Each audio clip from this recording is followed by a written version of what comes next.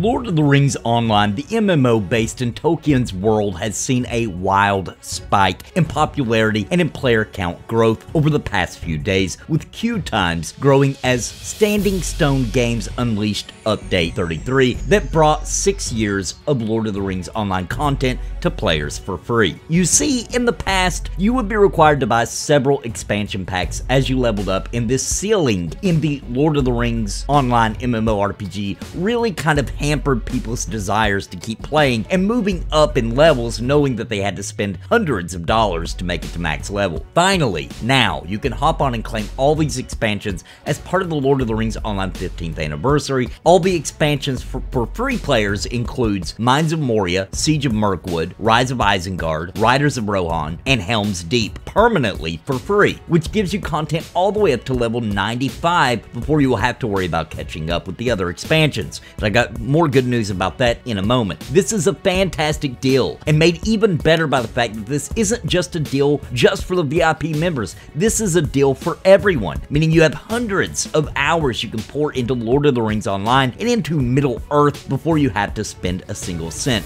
And it's not just the expansions. You get the Beorning, Runekeeper, and Warden classes, as well as the High Elf race as well, all for free. This makes Lord of the Rings Online at the very least one of the greatest MMO deals out there for anybody looking for a free-to-play MMORPG title. As if all of this isn't exciting enough, there are also gifts in the form of in-game items like boosts, tokens, riding tray, mithril coins, a pet, an exclusive mount, and more. Now, to get these in-game items, though, you will need to log in during this event. The event is going on right now at the time of this recording and runs all the way through until May 12th, 2022. So make sure you go get all of the in-game freebies. Now, that's still not all though, because if you are a VIP, you get an even better deal, which by the way, being VIP just means you are paying for their monthly subscription, and it comes with even more expansions, Mordor, Minas Morgul, and War of the Three Peaks. And for logging in during the event, VIP members will also receive a Starlight Cloak, Hooded Starlight Cloak, and a Light Weapon Aura across your entire account. On top of all of this and more, there is an event that as soon as you log in during this time frame, you will get an invite to which there is an instance for fireworks to celebrate 15 years of Lord of the Rings Online. When I say an instance, there's, you know, a lot of people also in that instance with you. Now, the expansions are unlocked for life. Of course, for the VIP rewards, and to get all those expansions, you will need to have the VIP status active to get the extra expansions when you're trying to access them. But in-game items are only available until May 12, 2022. So this has players just kind of piling in on the servers with queue times sometimes in peak times over 3,000 being recorded. And I know that sounds bad like, oh my god, queue times, but that means that the game is absolutely thriving right now. Now, how many people actually stick around? Hopefully uh, enough Lord of the Rings Online's always had a good, steady player base, but it would be really cool if this kind of revitalized Middle Earth for Lord of the Rings Online because it is a really good MMO. Also, basically what this means, in other words, it's a wonderful time to get sucked into the Lord of the Rings Online's Middle Earth and enjoy Tolkien's world in the best way to digitally experience it, which in my and many others' opinion is right here in this MMORPG. You can quest and adventure across all the areas from the books and have interactions with all the characters from the stories, and there really is something absolutely magical about seeing places such as the Shire or walking into the Prancing Pony yourself. That absolutely is a nerd's dream come true. Some people go to Disney World and get excited, and others, like me, are super nerds and we go to Lord of the Rings Online's Middle Earth and we get all giddy. Coming up in June, I will I would like to also announce that I will be going full time and plan for Lord of the Rings Online to be a regular game that I play and stream, as long as I get support from the community to continue doing that, of course. So I hope you'll join me for that. And speaking of me going full-time YouTube in June, I could really use your support to make it a reality, and there are many ways to do so. First up, of course, is joining the channel to support this channel financially for as low as $1.99 per month. I do have to eat after all, and get exclusive content for doing so. Or check out the Napalm Loot store down below for merchandise, or by simply watching, hitting that like button on my videos, and subscribing to the channel. And speaking of which, before we finish up talking about Lord of the Rings Online, let's hear about the members of Napalm. Real quick before we continue, I want to give a major shout out to the members of Napalm. Thanks to their contributions, I can get the equipment and gear that I need to keep this channel ticking, covering MMOs, RPGs, and of course, puppets. If you're interested in becoming a member of Napalm, please click the join button down below. It would be greatly appreciated. And a very special major shout out to the Lords of Napalm,